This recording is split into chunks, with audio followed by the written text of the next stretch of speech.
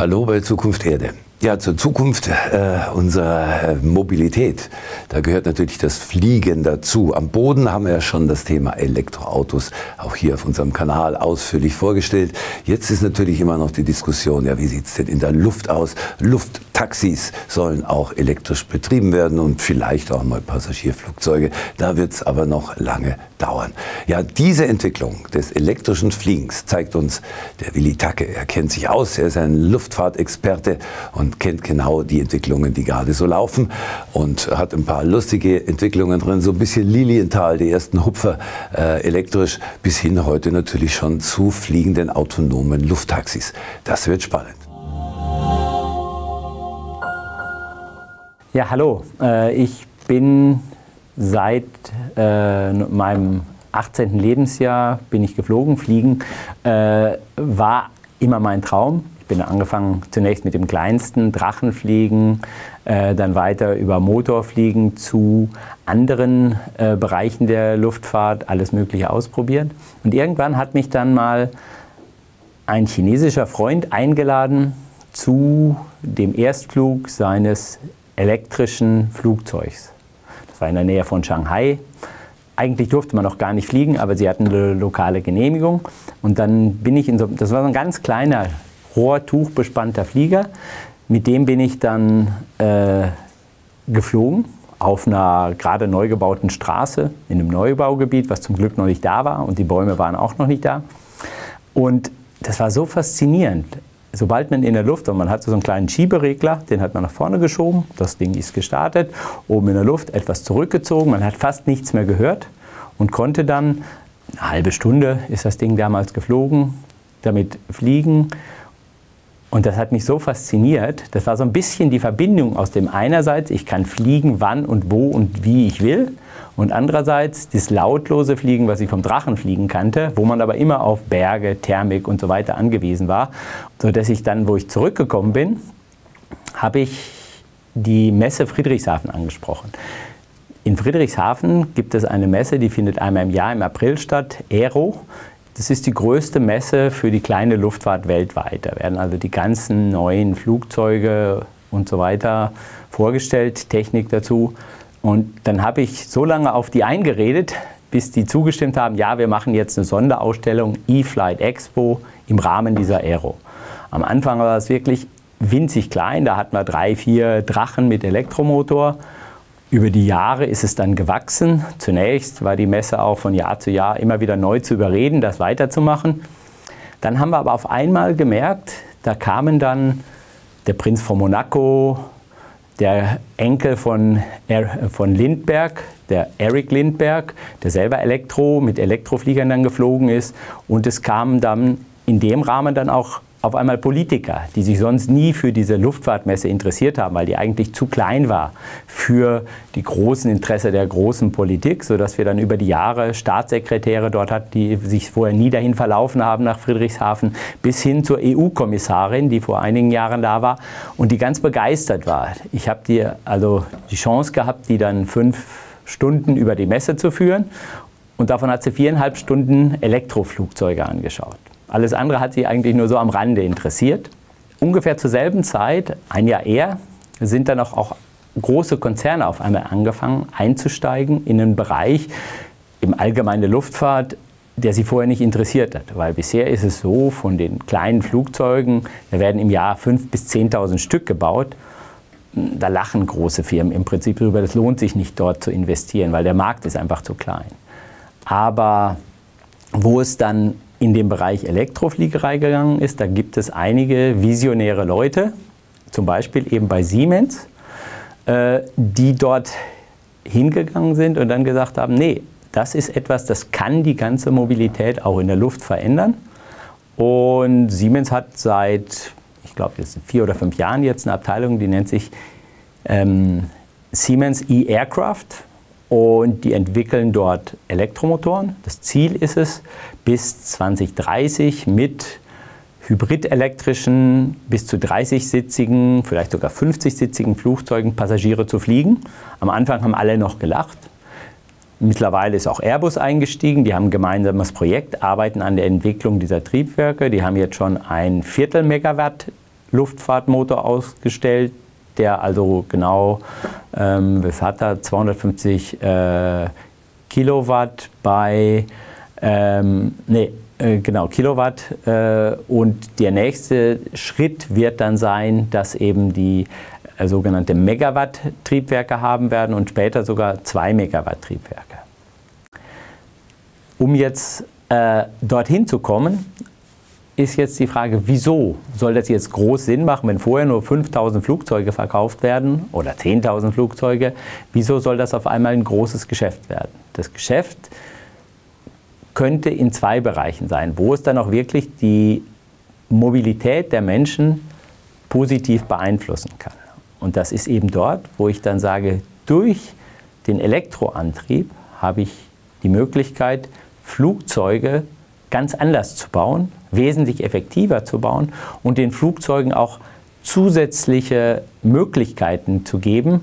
Das kann jetzt Senkrechtstarten sein, das kann autonomes Fliegen sein, sodass ich dann auf einmal die Luftfahrt in einem viel größeren Rahmen einsetzen kann, als das bisher gewesen ist. Weil bisher war es so, mit kleinen Flugzeugen war es so, wenn man damit fliegen will, muss man sehr viel lernen und es ist relativ komplex.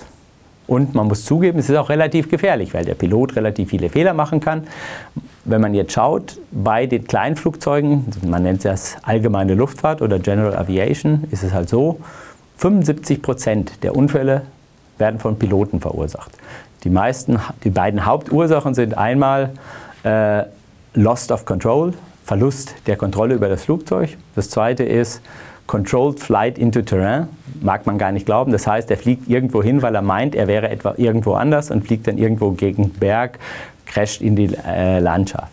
Diese beiden Unfallursachen sind welche, die man durch Computerassistenten so reduzieren könnte, dass das Fliegen in dasselbe Sicherheitsniveau kommen kann, wie wo momentan die große Luftfahrt, die kommerzielle Luftfahrt ist.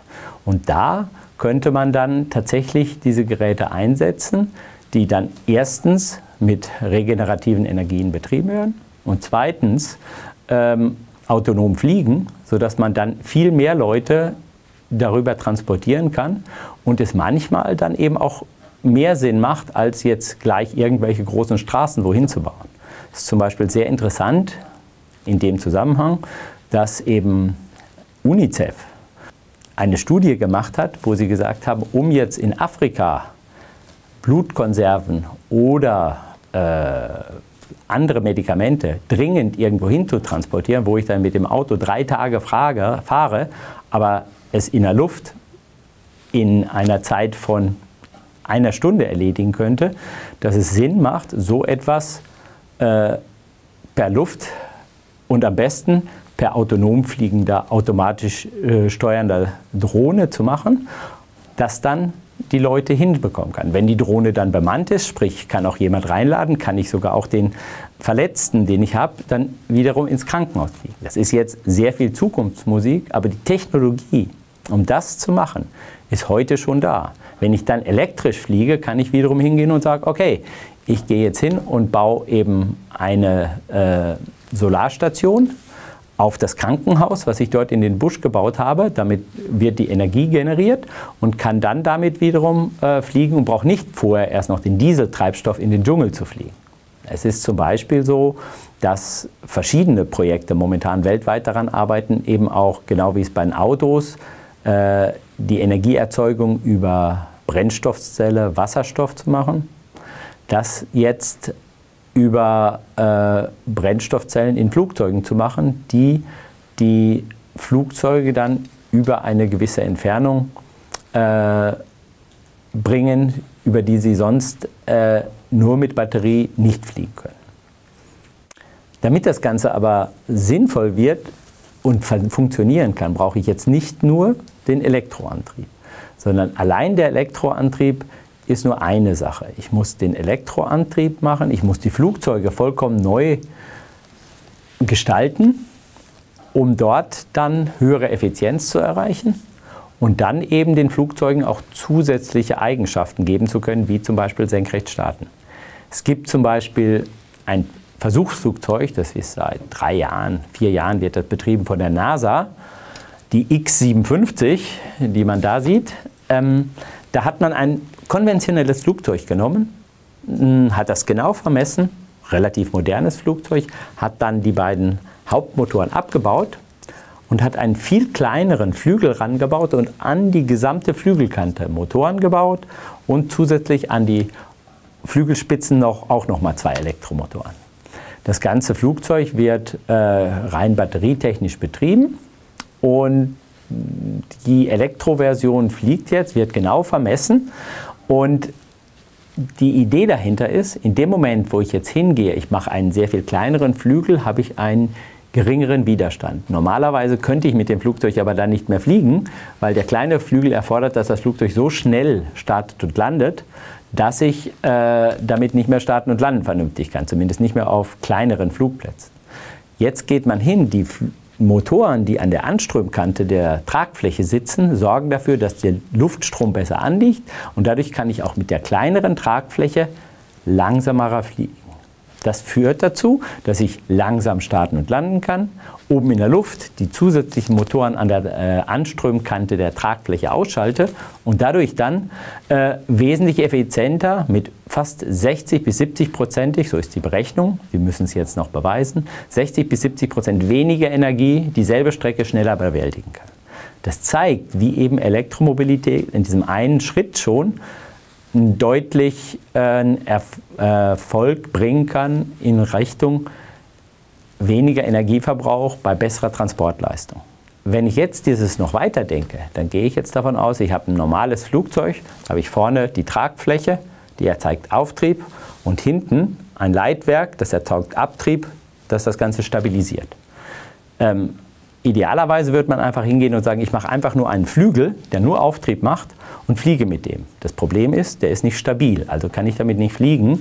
Ähm, ich brauche das Leitwerk. Wenn ich jetzt aber hingehe und montiere die Elektromotoren dort an diesem einen optimalen Flügel so, dass ich ihn dadurch elektrisch und durch die elektrische Motorenleistung stabilisieren kann, das Ganze über einen Computer gesteuert, kann ich ein höchst effizientes Flugzeug bauen, das genauso stabil ist wie die anderen Flugzeuge und weiter fliegen kann mit weniger Energieverbrauch. Das ist jetzt die Technik, die jetzt die Elektri der elektrische Antrieb schon den normalen Flugzeugen äh, bietet. Der nächste Schritt wäre dann, wenn ich jetzt da noch hingehe und baue diese Motoren so an, dass ich sie vielleicht noch schwenken kann oder baue zusätzliche Motoren an, die das Flugzeug aus dem Stand hochheben, dann habe ich da den Vorteil, dass ich auf einmal nicht mehr die Flugplätze äh, bauen muss, sondern die Flugzeuge senkrecht starten und landen können. Wo stehen wir jetzt mit dieser Entwicklung? Das hört sich alles sehr stark nach Science Fiction an. Wenn man sich einige der Fluggeräte, die in den letzten zwei Jahren durch die Medien im Rahmen der Urban Air Mobility geflogen sind, meint man auch, dass diese Konzepte eher aus Star Wars oder ähnlichen Filmen stammen, als aus dem, mit dem wir vielleicht in den nächsten paar Jahren fliegen können. Aber ich habe jetzt die Chance gehabt, dadurch, dass ich in dem Bereich gearbeitet habe, in den letzten Jahren Konzepte zu sehen, die auch in die Luft gehen und fliegen, äh, was man sich vor zehn Jahren noch nicht hätte vorstellen können. Es war jetzt so, ich habe gesagt, ich habe damals 2009 die erste Elektroflugmesse im Rahmen der Aero äh, zusammen mit den Veranstaltern der Aero organisieren können. Wir hatten da im Jahr 2011 ein paar junge Studenten, die kamen mit dem Gummiball, so einem Gymnastikball. Dann waren da zwei Balken. Äh, Sie sehen es da, rechts und links beschäftigt mit äh, Elektromotoren drauf. Und dann haben die damit, sind die senkrecht gestartet, geflogen und haben es auch geschafft, äh, das in die Luft zu bringen, ohne dass irgendjemand was passiert ist. Daraufhin habe ich sie damals eingeladen bei uns auf die Ausstellung. Die waren bei uns am Stand mit ihrem Gummiball und alle Leute haben nur gelacht. Was soll das denn? Was hat das hier auf der Fliegermesse zu suchen? Die Firma heißt mittlerweile Volocopter. Ähm, die haben das Gerät nicht nur als erstes äh, Multicopter, bemanntes Multicoptergerät äh, mit einer vorläufigen Zulassung ausgestattet, fliegen damit regelmäßig. Sie haben mittlerweile verschiedene Investoren an Bord, unter anderem Daimler-Benz, entwickeln das Gerät weiter, sind vor einem, etwas mehr als einem Jahr zum ersten Mal autonom mit diesem Fluggerät in Dubai geflogen. Das sieht man jetzt da gerade. Das heißt, ähm, die Entwicklung ist wesentlich schneller, als man noch vor Jahren gedacht hatte und auch als die Leute sich das selber vorgestellt haben. Weil ich weiß noch, wo ich mit dem äh, einen der jetzigen äh, Geschäftsführer der Firma und auch damaligen Geschäftsführer der Firma, die die dann bald gegründet haben, die Studenten, Alexander Tosel, gesprochen habe. Da war damals die Idee, ja, wir bauen dieses Gerät, so wie die anderen Fluggeräte, und dann kann man das kaufen und die, dann fliegen die Leute damit und dann machen wir vielleicht bald ein zweisitziges und ein viersitziges quasi wie ein Auto individuelles Fluggerät. Mittlerweile hat sich die Idee insofern geändert, dass eben man sagt, nein, wir wollen eben eine ganze Flotte von diesen Geräten bauen und deswegen sind auch Firmen wie Daimler-Benz daran interessiert und diese Flotte wird dann von einem, einer Firma betrieben und bietet Transportdienstleistungen an, von Hochhausdach zu Hochhausdach. Das jetzige Fluggerät hat gerade mal 30, 35 Kilometer Reichweite. Aber in bestimmten Bereichen, wo eben sehr viel Verkehr ist, kann das zusätzlich eingesetzt werden. Es wird eben in der Hinsicht dann autonom fliegen. Das heißt, da wird kein Pilot langfristig gesehen, am Anfang sicherlich schon für die Sicherheit, aber später wird kein Pilot mehr an Bord sein. Und das Flugzeug wird voll fliegen. Das wird nicht eine Person drin sitzen, sondern werden drei oder vier Personen drin sitzen. Und es wird optimal autonom gesteuert, äh, sodass ich dort auch dann verhindern kann, dass es zu äh, Kollisionen kommt. Und wenn man sich vorstellt, wie komplex und wie die Probleme sind beim autonomen Fahren, dann äh, denkt man, ja, autonomes Fahren, es klappt schon nicht so richtig. Das versuchen wir seit Jahren. Es gibt haufenweise Diskussionen. Dann wird das autonome Fliegen erst recht nicht klappen. Ich glaube nicht. Ich glaube, sondern dass das autonome Fliegen wahrscheinlich noch vor dem autonomen Fahren kommerziell einsetzbar sein wird, weil die Rahmenbedingungen eigentlich deutlich einfacher sind. Ich habe dort nicht die Oma, den Radfahrer, der einfach quer äh, vor dem Autofahrer hergeht. Ich habe nicht die ganzen äh, nicht autofahrenden, äh, nicht autonom fahrenden Fahrzeuge, die mir reinfahren, auf die der äh, durch künstliche Intelligenz gesteuerte Flugzeug gesteuert werden muss.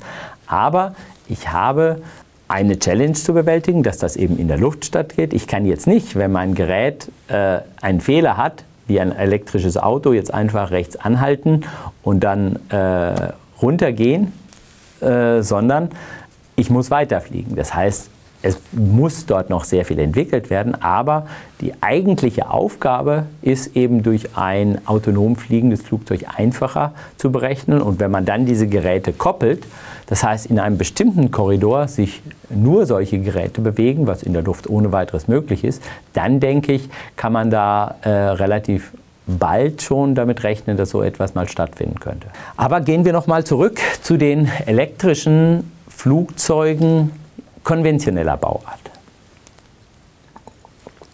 Das sind Flugzeuge, an denen zum Beispiel Siemens, Airbus und viele andere Firmen momentan arbeiten.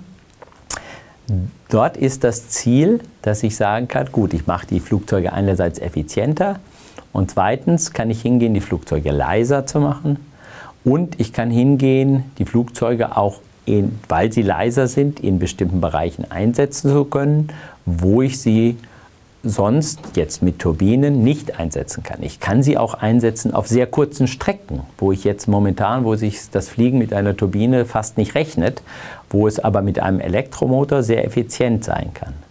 Ein Beispiel dafür, und das findet jetzt momentan schon statt, das Land Norwegen ist in einer idealen Position und versucht diese Position momentan zu nutzen. Das Land hat einerseits dadurch, dass es über Jahrzehnte sehr viel ihr eigenes Nordsee-Erdöl ausgebeutet hat, einen eher positiven Staatshaushalt. Das Land hat auf der anderen Seite nahezu 100 Prozent äh, erneuerbare Energien über Wasserkraft.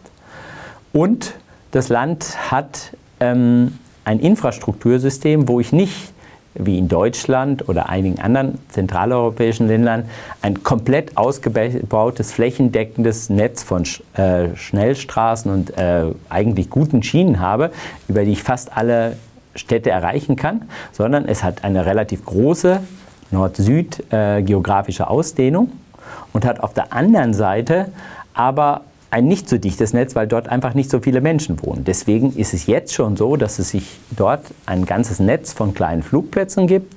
Die werden mit 40-sitzigen, bis zu 40-sitzigen kleinen Flugzeugen bestückt und die werden vom Staat betrieben als Angebot für die Infrastruktur und das Ganze ist billiger, als wenn ich jetzt hingehen würde und würde dort ein Schienennetz hinbauen für die wenigen Leute, die dort äh, nur transportiert werden müssen.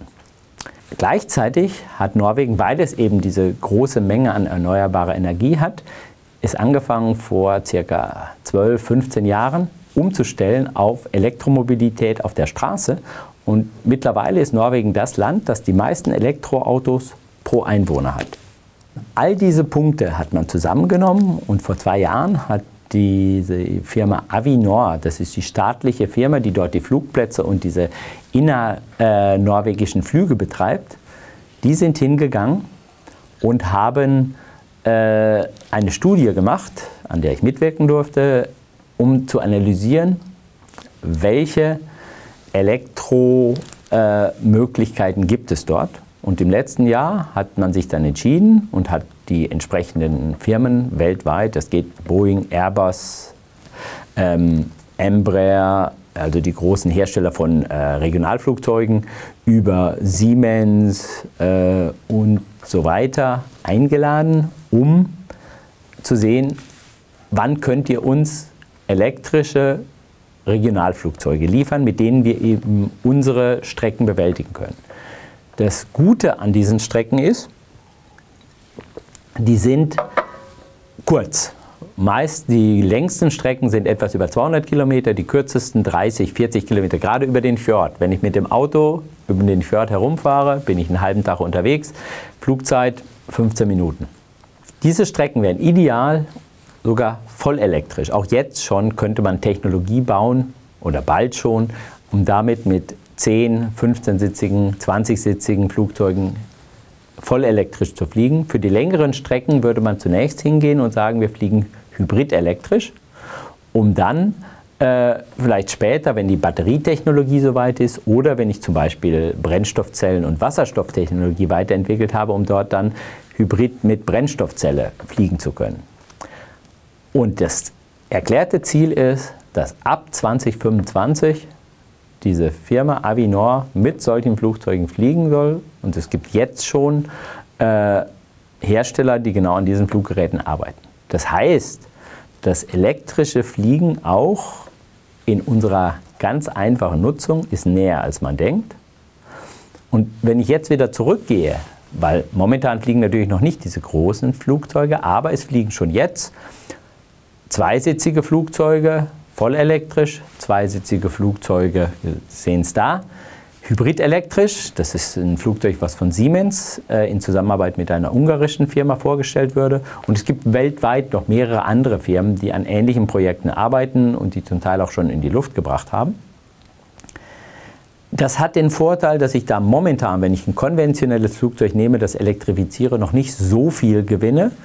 Ähm, ich gewinne halt ähm, wenn ich die Energie bis, äh, über Solarenergie gewinne, kann ich äh, mit erneuerbaren Energien fliegen. Das heißt, ich verbrauche keinen Treibstoff. Und die meisten deutschen Flugplätze sind aufgrund der Förderung mittlerweile, weil es ja gab große Hangarflächen, sowieso schon mit Solarzellen ausgestattet auf den Hangardächen. Das heißt, dort könnten die Fliegerclubs schon jetzt ihre Schulungsflüge, die oft nicht länger als 20 Minuten, eine halbe Stunde sind, Platzrunden zum Training, schon jetzt voll elektrisch fliegen. Und man hätte den Vorteil, dass man eben auch vielleicht, weil das Ganze wesentlich leiser ist als das Fliegen mit Verbrennungsmotoren, könnte ich schon jetzt hingehen und manchmal dann auch an Wochenenden fliegen, weil momentan ist es so, wenn jemand das Fliegen lernen will, die meisten Flugplätze sind an den Wochenenden geschlossen weil Lärm, die Leute wollen am Wochenende ihre Ruhe haben. Wenn ich jetzt hingehe und baue wesentlich leisere Flugzeuge, dann kann ich die Zeit weiter ausdehnen und die Leute können auch am Wochenende fliegen lernen, was sie eben momentan nicht können. Und das wird schon jetzt ermöglicht durch elektrisches Fliegen. Es sind die ersten Maschinen, wie hier die Pipistrel Elektro Alpha, die äh, sind schon in einer Serienproduktion, in einigen Ländern weltweit zugelassen. Dort finden jetzt schon Schulungen statt. Und äh, die Zulassung bei der EASA, das ist die zuständige Luftfahrtbehörde hier in Europa, die läuft gerade. Wird eigentlich, ich denke, bis zur Messe, zur nächsten, die findet im April, 10. April äh, 2019 in Friedrichshafen statt, werden die das Gerät mit einer EASA-Zulassung haben. Sie sehen also, elektrisches Fliegen ist momentan wesentlich näher, als man denkt. Und das Interesse daran ist immens. Ich kann das sagen, weil ich habe das hautnah erlebt. Ich mache hier so äh, Flugzeitschriften, Flügel, das machen wir seit fast 25 Jahren. Ähm, in dem Moment, wo ich angefangen bin, selber elektrisch zu fliegen, habe ich versucht, das auch sehr stark zu pushen. Wir machen dann auch ein Nachfragewerk, das gibt es in Deutsch, Englisch und Französisch und mittlerweile seit fünf Jahren auch in Chinesisch. Ähm, haben wir natürlich haben wir alle Flugzeuge, die Elektromotoren hatten, mit einem E gekennzeichnet. Das sind mehr und mehr geworden. Über die Jahre habe ich dann das Problem gehabt, dass wir in unseren normalen Flugzeitschriften äh, die ganzen Elektrobeiträge, die ich hatte, gar nicht unterbringen konnten, weil viele, die meisten Leute fliegen jetzt eben schon noch mit Verbrennungsmotoren. Die Anzeigenkunden waren die Leute aus der konventionellen Fliegerei, die Verbrennungsmotoren liefern. Und wenn ich dann immer nur noch schreibe, dass Elektro das einzig wahre ist, hat das natürlich Probleme. Ähm, die Lösung ist dann gewesen, wir sind hingegangen vor zwei Jahren, haben wir eine Zeitschrift gemacht, die nennt sich eFlight Journal, kann man kostenlos im Internet runterladen. Und dort haben wir eben dann zusammengefasst die Flugbeiträge über elektrisches Fliegen. Am Anfang haben wir gedacht, lohnt sich das? Kann man das machen? Gibt es da überhaupt genügend Material? Mittlerweile ist es so, also wir könnten das fast monatlich rausbringen. Wir bringen es jetzt vierteljährlich raus und an verschiedenen Veranstaltungen wie diese Aero in Friedrichshafen oder auch die größte Luftfahrtmesse der Welt. Das ist EAA Oshkosh, das findet immer im Juli statt in Amerika. Dort äh, drucken wir die Exemplare dann auch, um das Wissen an möglichst viele Leute zu kriegen. Wir haben gleichzeitig sehr viele Leute, die sich das runterladen, mittlerweile auch aus der Politik, weil ähm, es sehr wenig aufbereitete Informationen über den Bereich gibt. Es gibt zwar Bereiche, in denen, äh, wenn ich auf verschiedene Webseiten gehe, in denen jeder über sein eigenes Projekt schreibt, aber dass das eben journalistisch aufbereitet für die Leute, lesefertig auch für den Normalverstehenden, der nicht Elektroingenieur ist, äh, irgendwo zu finden ist. Da haben wir festgestellt, da ist ein sehr großer Bedarf da, der mittlerweile eben auch äh, gut genutzt wird. Sie haben gesehen, es tut sich viel in der Luftfahrt und ich mache Luftfahrtjournalismus seit 1980, seitdem ich aus der Schule raus bin. Ich muss sagen, es hat sich noch nie so viel getan. Ähm, das eine ist das, ich habe eben schon ein paar Namen erwähnt, welche Firmen momentan sagen, ja, Luftfahrt, Urban Air Mobility, Fliegen mit Elektro, das ist etwas, das ist ein Thema der Zukunft. Und wenn ich da sehe, es ist eben nicht nur Daimler, die da, Siemens, Airbus, Boeing, die da eingestiegen sind, sondern gleichzeitig auch noch äh, Toyota, Audi, Volkswagen, ähm, Google, Amazon. Es gibt eigentlich kaum eine Firma, Intel, es gibt eigentlich kaum eine Firma, die ein größeres Portfolio hat, in einem Bereich Marktführer ist und irgendetwas mit Transport zu tun hat oder mit Elektronik zu tun hat oder mit Technik zu tun hat, die momentan nicht in den Bereich schaut und sagt, entweder sie haben schon investiert oder sie haben schon Portfolios aufgelegt, um dort zu investieren. Wenn man jetzt überlegt, ja, wird das nicht dazu führen, dass jetzt der Himmel schwarz wird und dann Tausende von Elektrotaxis neben den Straßen auch noch den Himmel verstopfen? Ich glaube eigentlich nicht, sondern ich glaube eher, ist auch eine gewisse Hoffnung dabei, dass ich glaube, dass diese Technologie helfen kann, die nicht nur die Luftfahrt zu revolutionieren, sondern auch Anstöße geben kann, die gesamten Transportprobleme oder Transportfragen, die wir haben und die wir auch in Zukunft haben werden, zu lösen. Weil es ist, eine Sache ist klar, die Menschen wollen mobil sein. Die Menschen wollen nicht, weil am wenigsten Energie würde ich verbrauchen, wenn ich zu Hause sitze. Das ist richtig. Aber die Menschen wollen mobil sein und sie müssen auch mobil sein. Die Politik fordert von Arbeitgebern, dass sie mobil sind, dass sie sich die Arbeitsplätze auch an anderen Stellen suchen. Von daher brauche ich eine Mobilität und die Entwicklungen, die jetzt die Computertechnologie gleichzeitig mit den elektrischen Antrieben, kann dazu führen, dass in einem ersten Schritt die Flugzeuge deutlich sicherer werden, weil ich eben Assistenzsysteme einbaue, dass der Pilot nicht mehr so viele Fehler machen kann, die einfach die Fehler vermeidet. Das, der nächste Schritt wird dann sein, dadurch, dass ich deutlich effizientere Flugzeuge baue, die auch neue Möglichkeiten, wie zum Beispiel Senkrechtstarten haben, dass ich die Flugzeuge einsetzen kann für Transportzwecke. Weil heutzutage werden diese wenigen General Aviation, allgemeine Luftfahrtflugzeuge, nur ganz selten tatsächlich für oder Transportzwecke eingesetzt und nur für ganz wenige Leute.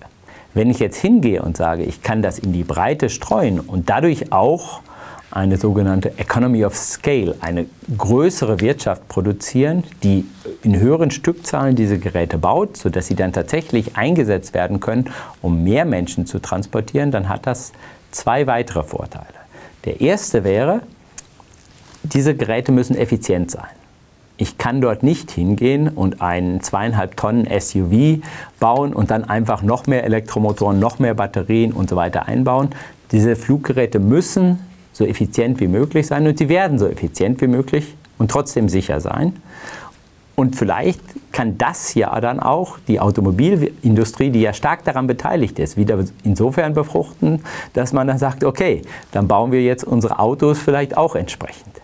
Das Zweite ist, diese Fluggeräte werden nicht so sein, dass jeder Einzelne eins besitzen will sondern diese Fluggeräte werden so sein, dass sie Transportdienstleistungen anbieten und das nur in einem globalen oder zumindest lokalen System, wo sie untereinander agierend, autonom fliegend, aber gleichzeitig gesteuert sind, sodass ich relativ viele auf engem Raum betreiben kann. Das führt dann dazu, dass ich eben in manchen Bereichen tatsächlich vielleicht äh, Bodentransport entlasten kann, in anderen Bereichen zusätzliche Dienstleistungen anbieten kann, wie erwähnt vorher die, der Transport von äh, Blut von äh, Kranken in bestimmten Bereichen, den ich momentan vielleicht nicht so effizient machen kann. Und das wiederum könnte dann dazu führen, dass die gesamte Mobilität weltweit durch alle Bereiche Land, Wasser, Luft effizienter wird. Und wenn sie eben effizienter wird, das heißt die Energie besser einsetzt, dann kann ich wiederum hingehen und sagen, wenn das in der Luft funktioniert, dann muss das am Boden doch auch funktionieren. Und da denke ich, kann dann die, dieser Ursprungszündfunke der elektrischen Fliegerei, der das Ganze ein wenig ausgelöst hat, tatsächlich auch befruchtend wirken für andere Bereiche der Mobilität, um dann die Anforderungen der Mobilität der Zukunft, und das ist eine globale Frage, die ist eben nicht nur in Deutschland, die ist nicht nur in China, die ist nicht nur in den USA, sondern weltweit so zu lösen, dass die Menschheit davon insofern einen Vorteil hat, dass wir weniger Energie verbrauchen, weniger Staus haben und gleichzeitig eine bessere Transportleistung.